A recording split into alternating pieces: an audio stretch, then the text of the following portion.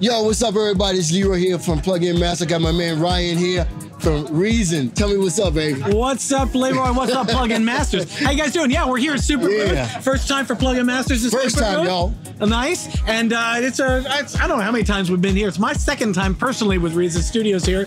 And we're here showing Reason 13 and showing Reason in general and kind of getting the, the modular hardware crowd at Superbooth interested in the virtual modular crowd Yeah. over on the Reason rack. So But he said the magic thing, y'all. Look out for it. Reason 13 is on its way. that's right. That's right. New devices coming, adding to the favorites you've already got in the rack. So we're really excited. I'm getting a heads up on it, right? Ryan is gonna hook me up with the heads up. We see you guys later. Okay, so um, you can see here we have the brand new Reason 13. Okay, so one of our new features is the browser section. You can see all types, instruments patches, effects, players. You get your loops, your samples, and your MIDI files, and you can just go over to categories and tags, and it's really simple to find the instruments or the sounds that you want. This is great.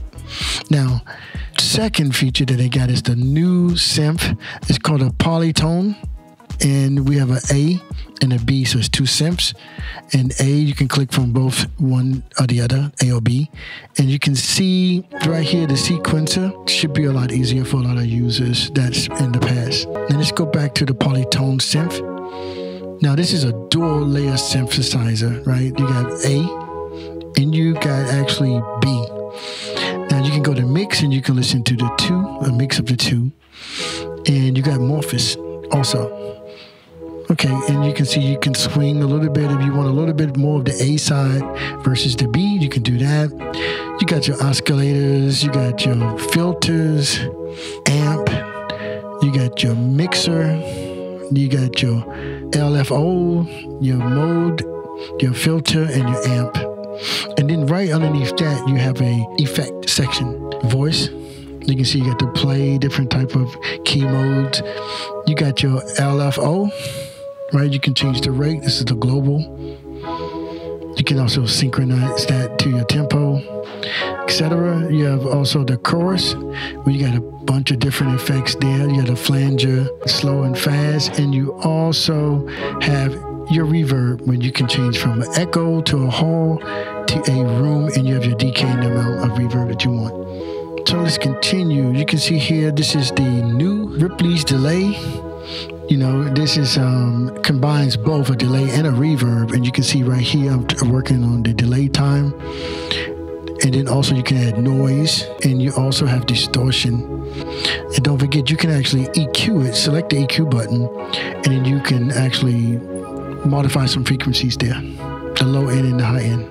Okay, so our next section is all the tools. So you can see we have a gain tool, a sidechain tool, and we have a stereo tool. Now, on the gain tool, you can actually modify the gain a little bit to the right, a little bit to the left. You have some selection here, wide width pan. You got the dual pan and the rotor. Next one is we have the sidechain tool. You can see here that I'm changing the rate. There's one fourth, there's one eighth. You can also modify the attack and the release of that. And the last tool is the stereo tool, which is really great. This is just stereo imaging. You can make your the sound wider. This is a really nice function. All this stuff is really easy access. The sidechain one is one of my favorite ones because it just works automatically and is very simple to use. So you can see these five new um, features and um, Reason. It's just marvelous. It's great. You guys got to check this out. All right, so there it is. Um, Reason 13, some of the new features. You guys can enjoy it, make some great music. See you guys in Plug-in Masters later.